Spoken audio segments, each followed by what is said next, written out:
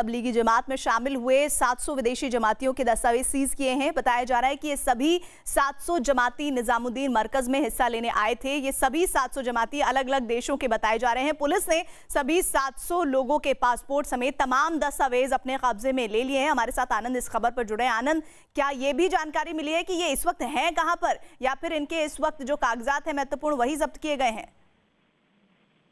जी देखिए 700 जमाती हैं जो गैर कानूनी तरीके से, गलत तरीके से वीज़ा लगवा के इंडिया आए थे और उसके बाद अलग अलग शहरों में ये मरकज के कार्यक्रम में शामिल हुए हैं। इनके तमाम जो डॉक्यूमेंट और पासपोर्ट हैं, वो एफआरआरओ की मदद से और एयरपोर्ट की मदद से दिल्ली पुलिस के कप्तान ने जब्त कर लिए हैं। इनकी जो ट्रेवल हिस्ट्री उसको खंगाला जा रहा है किन किन तारीखों में ये लोग दिल्ली देश के अलग अलग एयरपोर्ट पर ये पहुँचे थे और तक कहाँ कहाँ रुके थे। इसमें दिल्ली के मरकज निजामुद्दीन कितने लोग आए थे और कितने दिन ये रुके थे? अभी तक जो जानकारी मिल रही है सब सात सौ ऐसे जमाती जिनके खिलाफ ये कार्रवाई की गई इनके पासपोर्ट और ज़रूरी दस्तावेज़ जो है जब्त किए गए हैं और इसकी अब बारीकी से जाँच की जाएगी इन दस्तावेजों की पासपोर्ट की और ये पता लगाने की कोशिश की कि जमाती अभी जो किन किन जगहों पर मौजूद है उसमें जानकारी मिल रही है कि अधिकतर जमाती जो है वो दिल्ली में थे और उसमें कुछ जमाती जो है वो क्वारंटाइन पीरियड थे जिनका क्वारंटाइन पीरियड अब खत्म हो गया है और वो अब कोशिश में लगे थे कि वो वापस अपने देश जा सकें लेकिन अब उसकी मुश्किलें बढ़ गई। जी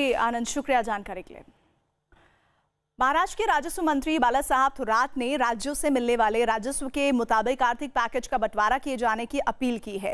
ये इस वक्त की महत्वपूर्ण खबर आपको हम बता रहे हैं, वो ये कि महाराष्ट्र के राजस्व मंत्री बाला साहब थोराट ने राज्यों से मिलने वाले राजस्व के मुताबिक आर्थिक पैकेज का बंटवारा किए जाने की अपील की।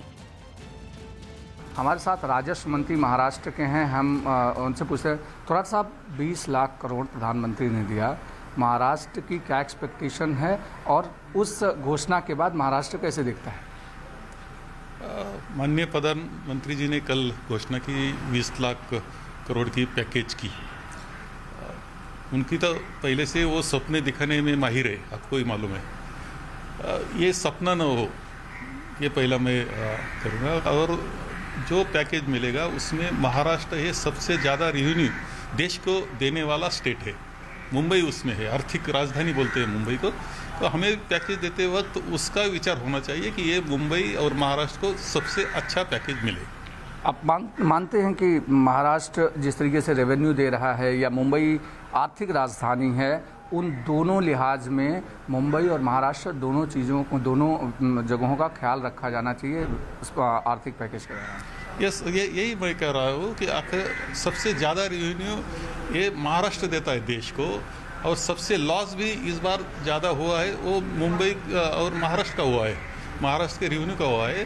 तो ये फिर आपको ऊर्जित अवस्था निर्माण करनी होगी यहाँ मुंबई को, महाराष्ट्र को। तो पैकेज में भी वैसा ही हिस्सा देना चाहिए।